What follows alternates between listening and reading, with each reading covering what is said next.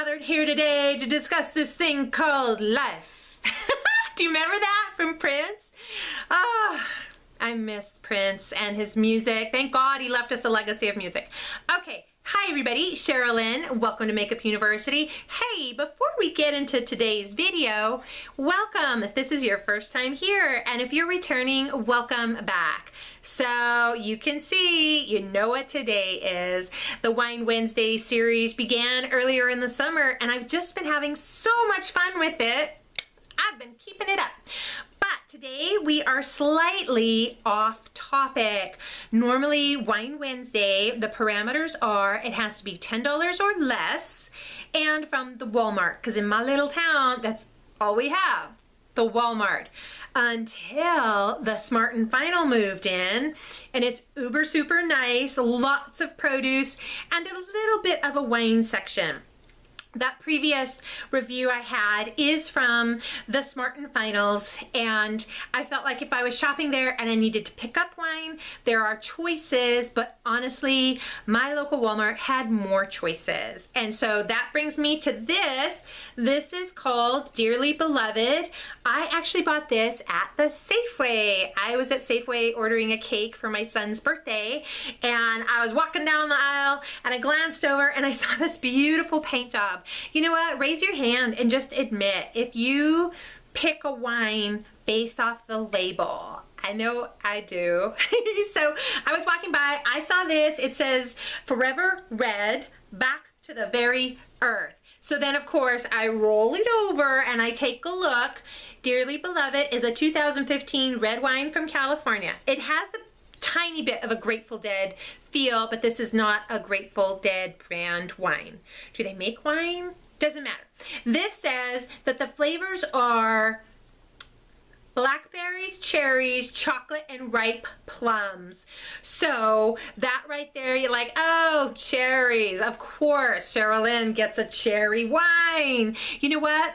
This was $8.79 at the Safeway. That is under the $10 budget with tax. I'm right about that $10 mark. And things to know, I liked it. It was good. It was enjoyable. Um, the first sip has a light bit of flavor to it and it finishes really delicate on the palate. And I really enjoyed it. This would be a really fun gift to give. You guys, I to give wine to the, to the friends that I have that I know they drink wine. I like to give them wine and I like to give them something that I think they haven't had or tried or just to surprise them with. I think this would be a beautiful bottle to get as a gift because it has a beautiful label. And then as for, I'm gonna put it on handy dandy because then I'll tell you about this.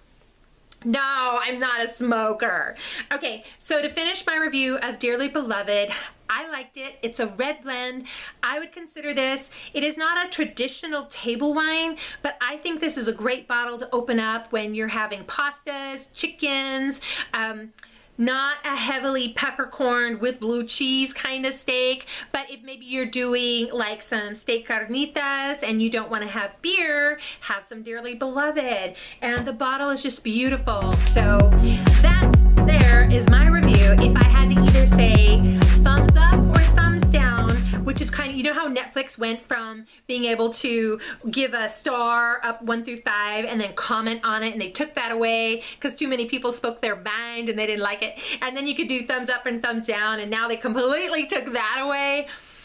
Well, if I had to give Dearly Beloved either a thumbs up or a thumbs down, I definitely say it is a thumbs up for me.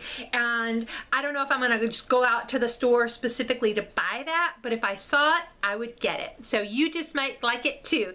Find it at Safeway for sure and maybe at your Total Wines. I don't think I have ever seen that bottle at the Walmart and I'm gonna be at the Walmart soon so I'll definitely take another look.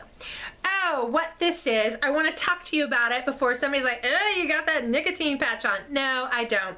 Uh, I have what is considered a repetitive stress injury.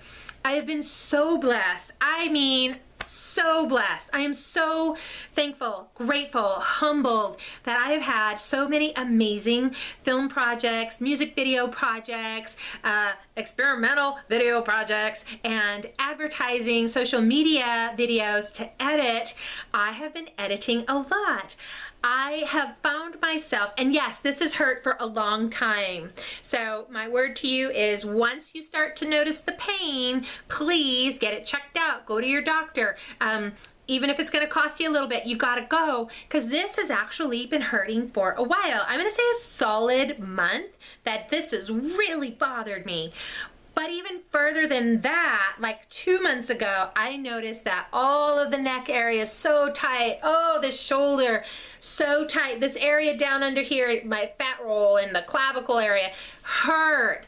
And then of course, right here, because I'm right-handed, I've got my hand on the mouse and I'm flexed because I'm editing. So all of this muscle is tight, tight across here, tight up here. My doctor was telling me the entire arm is a system and I need to treat the entire arm. I need to give you eight cortisone injections. I flipped my wig and um, he talked me down from the ledge and he says, well, we can do one shot and split it in half. And that's what we did at the two most severest points. I am not a doctor. My doctor is, and I just need to tell him he is right that yes, the cortisone shot helps. Ugh, I didn't have any mobility in it for a few days because it hurt so bad. And I've had to back off of work, of editing, so that this can heal a little bit. And then now the little baby injections of cortisone, I feel like, okay, I am ready to go back in two weeks and do all eight injection, full injections, and then I'm just gonna put it in a sling and take the weekend off. I don't know, do something fun, I guess. Anyhow, um, that's what this is. If you see that, this is actually the injection site, and um, I can be a big baby, and I don't wanna rip it off. It's a Band-Aid. so that's the truth. I should have a glass of wine, huh? Because this hurts so bad. It's cortisone in the muscle, and I did get a high dosage of ibuprofen, and um, I was telling him I really need a muscle relaxer, but we'll see about that. So anyhow, this is healing. This, I got handy tandy right here. This right here is a good wine. I think if you had a chance to buy it, you'd like it.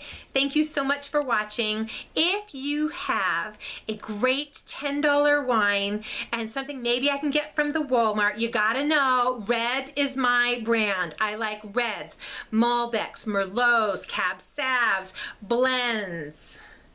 Pinot Noirs on occasion. If you ever see me like just sitting around drinking white wine, you know I've been kidnapped and I'm crying out for help. Okay. That's enough for today. Hey, you guys, uh, let me know in the comments if you have a suggestion for me. I'd love to try what you recommend. And in other news, hey, I'm Cherelynn. This is Makeup University. And remember, you look really gorgeous today.